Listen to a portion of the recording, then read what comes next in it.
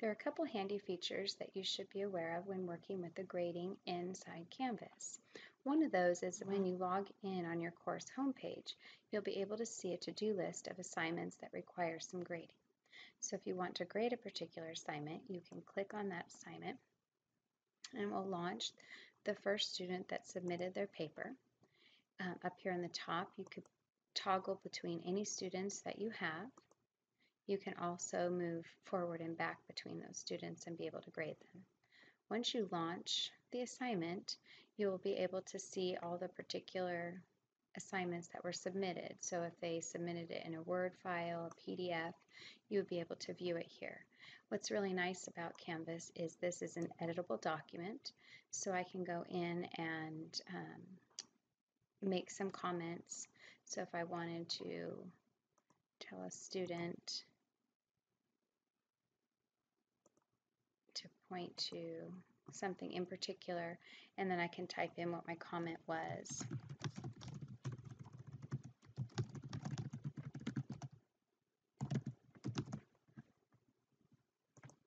So when the student comes back and views their paper, they would be able to see our, my comments here.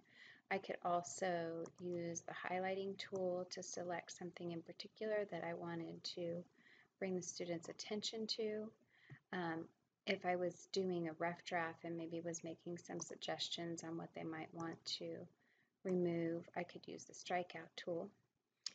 Um, so I have some options here as far as going in and giving students feedback on their assignments through comments um, and directing them with some highlighting or other options. I can also draw, so if I wanted to circle something and make a comment, I could there as well and the students will see all of that detail.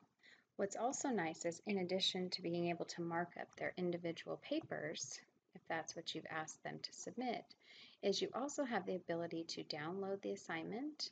You can also download multiple assignments as a group into a zipped file, allowing you to grade offline if you wanted to, where you could actually use a word editor and type your comments in there and then be able to upload them all back in a zip file um, to update the submission with your graded or revised comments. What's also nice as well is, is that if you're using the rubric tool, and I'll show you in a moment how to add a rubric to your paper, um, it makes grading really easy. So I could go through and indicate on my paper and then maybe give a point base here. But if I was using a rubric, um, I can see all the individual criterias that I've set up, so you can have multiple criterias. And then I can go in and based on how they performed on that criteria, I can select their point level based on how I set that rubric up. So I just simply select how many points that they earned as I've gone through each individual criteria and indicate how they performed based on that. When I click Save, it will total those up for total points down here of 24 out of 30, and that's what will populate into the gradebook for me. So it gives the students a little bit more specific detail. I can still mark their paper up and give them some guidance that matches with the rubric, but then I can give them specific feedback as well. In addition, another handy tool um, that's available, like we've seen before, you can always add typewritten comments to your students um, that maybe correlates with some of the feedback you've done with the markup. But you can also attach a file. So if you downloaded this and made some editing changes, you could return the file to them. But you could also make a quick media comment to your students. So instead of just typing out a message, you could actually send them a voice file that includes your um, interpretation of the assignment. So it, it makes it a little bit clearer as to what it was what you intended them to understand about your feedback. Um, and that's embedded right into their assignment so that they're able to view your comments, view the rubric, as well as maybe hear some additional comments from you as well.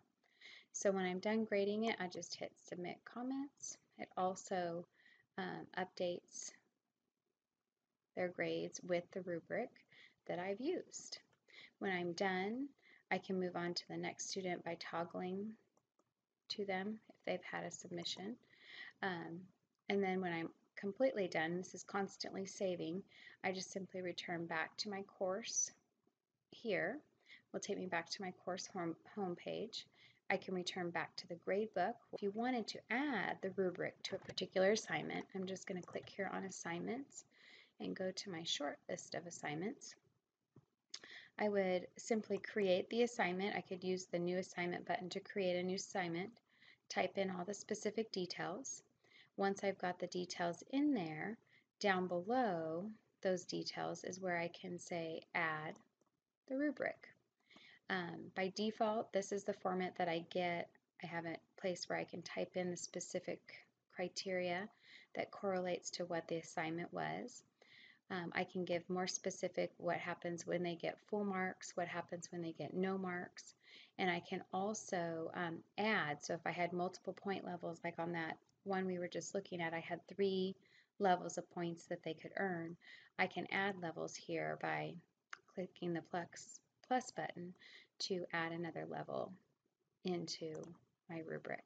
So if I wanted to type in a very specific detail criteria, I could. Then I could also go in and edit what happens when the student gets. So I can just paste that in there and click OK. Then I can go in to edit what happens when a student gets no marks, meaning they didn't complete the assignment. And so then you can see here the total points that were available were five points. They either did it or they didn't do it. And then I just click Create Rubric. And what it does is it embeds that rubric as part of your assignment. So anytime the students click to view what the assignment is, they'll also see the rubric, which is helpful for them to understanding how they're going to perform and meet your criteria. And then this is the same rubric that will populate in your gradebook so that you can click on these criteria ratings to assign the points and populate that into your gradebook.